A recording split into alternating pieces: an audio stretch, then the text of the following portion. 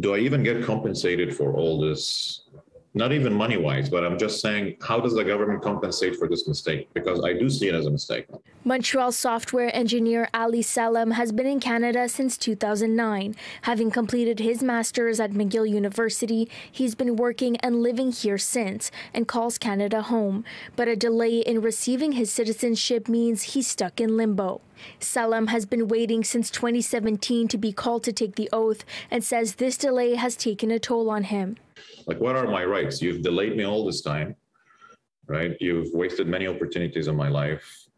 And part of me being uh, living in Canada, all of us, when we're paying taxes, right, we expect to receive the benefit that we deserve, be it in medicine, be it with the government services, right? So who's accountable? I just want to know because honestly, at this stage, I want to make sure others don't get the same treatment that I got.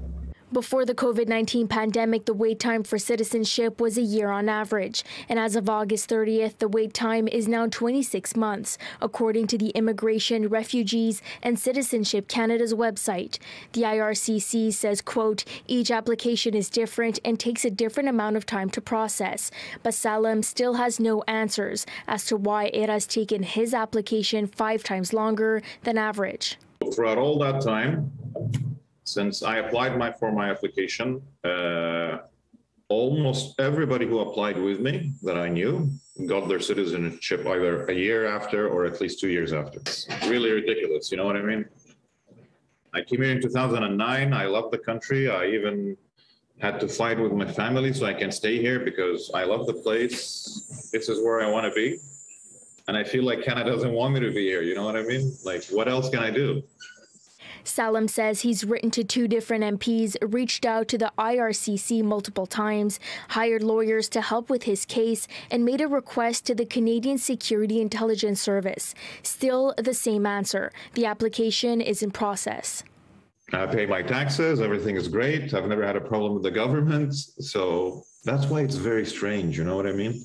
Yeah. And when you call IRCC and I'm like, can you please tell me what's wrong? Is there a document you need from me that I can you know, get you more information. Like anything I can do to help.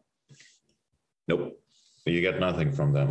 Salem says the wait has affected his work travel opportunities, that he faces difficulties trying to travel for work opportunities because of his Lebanese passport. He also can't vote in the country he's lived in for nearly 15 years. Now he's worried his citizenship, or rather the lack of it, will impact his personal relationships as well. City News reached out to the IRCC for comment but received a response that it would not be able to provide a statement by deadline. In Montreal, Brittany Henriques, City News.